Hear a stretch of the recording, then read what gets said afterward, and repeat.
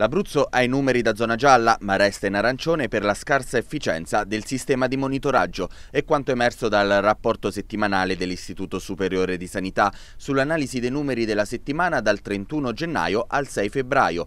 Seppur attualmente il tasso d'occupazione ospedaliero è in area medica il più alto d'Italia, oltre il 37%, in terapia intensiva è in discesa al 15,6%, ben al di sotto della soglia limite del 20%.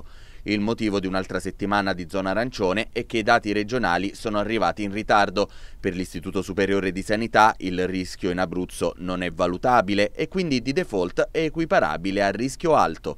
Allo, allo stesso livello ci sono anche Calabria, Liguria e Sicilia. La Sardegna è a rischio moderato, mentre tutte le altre regioni sono considerate a rischio basso. Ad oggi in Abruzzo di Covid esiste solo quello Omicron. La nostra è tra le 11 regioni dove questa variante ha un'incidenza del 100%, mentre quella Delta è scomparsa. Omicron, come ritengono gli esperti, è super contagiosa ma ha una sintomatologia meno aggressiva, tant'è che alcuni si sbilanciano sostenendosi all'ultima fase della pandemia. L'elaborazione della Fondazione Gimbe sui dati dell'Agenzia Nazionale per i Servizi Sanitari Regionali aggiornata all'8 febbraio sembra confermare questa valutazione.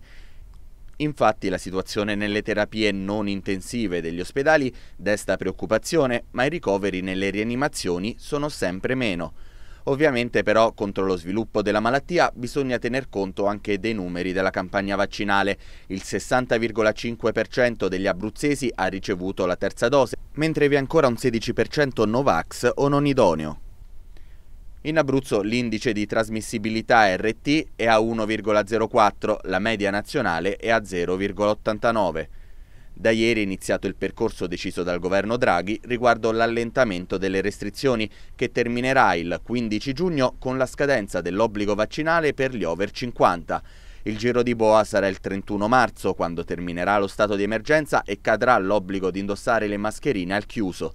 Da ieri intanto le mascherine possono non essere indossate all'aperto e questo sarà il primo weekend in cui si potrà tornare a ballare in discoteca. La capienza però è ridotta al 75% per le discoteche all'aperto, al 50% per quelle al chiuso.